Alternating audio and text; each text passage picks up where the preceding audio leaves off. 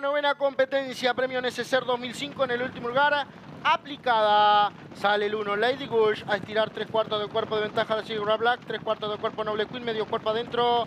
Corre la competidora Lady Hall a la cabeza por fuera, viene corriendo al Basil Fitz, medio cuerpo adentro está ubicada Café Lady, a la cabeza está ubicada Lomuda, a la cabeza recupera posiciones la competidora número 3 aplicada, dejan cerrando la marcha a Nevisca. En los últimos 700 se juntan tres participantes a pelear adentro, está ubicada Lady Gush abierta, viene corriendo Black, entre ambas se involucra la competidora Noble Queen, comienzan a volcar Calcola de la novena. Hacen su ingreso a la recta final. La puntera siempre es Lady Gulch. La cabeza de ventaja la sigue Noble Queen. Busca paso. Abrigadita las tablas. Café Lady. Busca línea avance también la competidora. Lady Hall abierta. Corre aplicada junto con Bra Black en los últimos 320. La puntera siempre es Lady Gulch. Corre con dos cuerpos de ventaja. La sigue su compañera, la número uno A. Lady Hall abierta. Larga atropellada. Viene lo muda. Adentro corre Café Lady en los últimos 150 metros. La puntera siempre es el uno. Lady Gulch. Dos cuerpos cuerpo de ventaja. Por fuera descuenta lo muda adentro. Corre la competidora. Lady Hall 20 metros finales de la cinta. La sentencia gana el 1. Lady Gush